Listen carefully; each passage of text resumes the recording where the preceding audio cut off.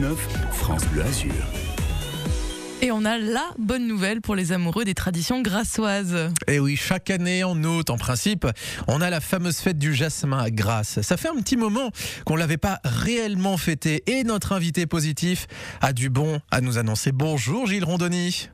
Oui, bonjour Quentin, bonjour à tous. Vous êtes l'adjoint au sport euh, à la mairie de, de Grasse. Alors la bonne nouvelle, elle est là, c'est la fête du jasmin qui est de retour ce week-end. Et oui, une tradition depuis 1946 de fêter euh, le jasmin en début août. Et euh, c'est le vrai retour, le vrai retour de la fête du jasmin après deux années, 2020 et 2021, tout petit peu tronqué ou annulé. C'est ça. Alors une tradition qu'on célèbre depuis quelques générations, vous l'avez dit. Pourquoi il y a une fête du jasmin à Grasse?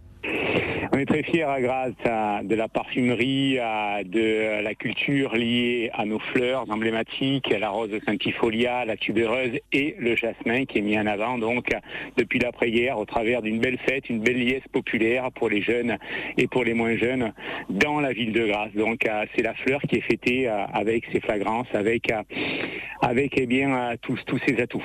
Les jeunes, les moins jeunes, comme vous le disiez, toutes les générations s'y retrouvent encore aujourd'hui, Gilles. Oui, c'est un refait communauté autour de la fleur du jasmin. Jérôme Bio, maire de Grasse, il tient beaucoup de refaire communauté dans cette belle ville de Grasse, dans ce cœur historique qui renaît véritablement. Et on va être très très content ce week-end d'accueillir plusieurs dizaines de milliers de visiteurs et de Grassois et de résidents du pays de Grasse également. Mais comment on fête le jasmin euh, à Grasse Parce que là, c'est tout un week-end chargé qui nous attend. Ouais, week-end avec un gros programme, effectivement, Quentin, qui va débuter à vendredi à 5 août avec Frédéric Buffo platine pour un course honoré Cresp en musique avec une soirée bubble. Euh, et puis le feu d'artifice qui sera tiré après le début de la soirée à 21h. Le feu d'artifice, ça sera 22h15. Feu d'artifice by PGMA Pyro Ruggieri. Comme ça, le 6 août, il va y avoir beaucoup de, programmation également. Hein. Et puis le retour du Corso, ça c'est aussi c'est un des événements marquants de la fête du Jasmin et le Corso est de retour. Ah ouais, ça c'est vraiment féerique. À partir de 21h, samedi 6 août, piétonisation du boulevard du jeu de ballon, défilé du Corso Fleuri, aspersion d'eau de jasmin par les pompiers. Ça c'est vraiment une tradition que les pompiers de Grasse perpétuent décennie après décennie. Distribution de fleurs par Miss Grasse et par Miss du Pays de Grasse, ainsi que les Dauphines. Oh, c'est génial. De nombreux groupes, hein, ouais, les circassiens seront là, le Barranquilla, le Bollywood Ferry, les lanceurs de drapeaux, la grande fanfare, les majorettes, etc. Qui fait le charme d'un Corso fleuri. Le Corso fleuri qui sera donc euh, de retour. Euh, en fait, c'est une fête qui est fleurie, la fête du jasmin, mais qui est aussi très parfumée au final. Voilà, c'est ça. Finalement, il ne sert à rien de s'asperger de parfum en partant de chez soi. C'est ça. Parce qu'après, on sent la fleur, d'oranger quand on revient à la maison.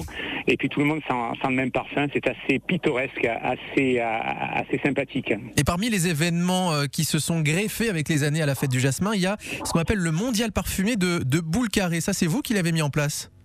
Voilà, avec mon ami William, avec Lionel, nous avons mis en place le mondial parfumé de boule carré. Euh, le maire a été partant. C'était un manque dans le programme de la fête du jasmin. Le dimanche après-midi était souvent un petit peu creux après la messe provençale célébrée toujours à 10h dans les jardins de la princesse Pauline avec le groupe folklorique Les Bails au Luzerne. Eh bien, nous avons décidé de mettre en place un mondial parfumé de boule carré signé Yves Becchetti, celui qui nous avait fabriqué les boules carrées il y a de cela quelques années. On pense à lui. Et donc, ça se joue dans le cœur de ville, dans les rues adjacentes, tout est gratuit et euh, on, joue comme à la pétanque, sauf que là on se prend pas au sérieux eh pour, les boules carrées. Et il paraît que plus on sait jouer à la pétanque normale, moins on est avantagé. C'est un fait avéré, Quentin. le pétanqueur ne gagne jamais au boule carré puisqu'il perd patience, il n'a pas ses repères, tandis qu'aux innocents les mains pleines, si on peut dire, eh bien celui qui s'adonne au boule carré, des fois pour la première fois, va loin dans ce concours où on attend plus de 100 équipes. En fait, ceux qui sont des, adeptes de la pétanque normale devront tout reprendre à zéro, mais c'est aussi ça le, le, charme de ce mondial parfumé de boule carré. Tout ça englobe la fameuse fête du jasmin. Un dernier mot, Gilles Rondoni, pourquoi il faut absolument venir ce week-end? Être ailleurs serait une erreur. Grâce sous préfecture des Alpes-Maritimes et capitale mondiale du parfum, vous ouvre les bras, vous tend les bras. Et euh, être à Grasse à ce moment-là, eh bien, c'est découvrir Grasse autrement, avec euh, une ville qui est une ville jeune, une ville étudiante, hein, puisque 1000 étudiants feront leur entrée en octobre prochain à Grasse. Et puis c'est une ville qui a, a un côté aussi village, avec les gens qui se connaissent tous et qui refont véritablement communauté au travers de cette belle fête. Et vous avez su nous donner les bons arguments Merci beaucoup Gilles Rondoni, adjoint au sport à la mairie de Grasse. La fête du jasmin, ça démarre vendredi, puis c'est tout le week-end, samedi et dimanche. Et ça, ça va sentir bon comme chaque fois à Grasse. Merci Gilles et bonne journée. Au revoir, au revoir à tous. 7h25.